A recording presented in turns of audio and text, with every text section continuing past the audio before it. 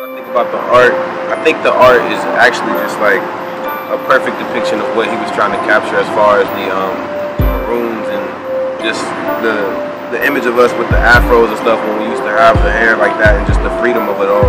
I think it was an amazing capture with that. Um, it hasn't really hit me yet that like I'm a painting now.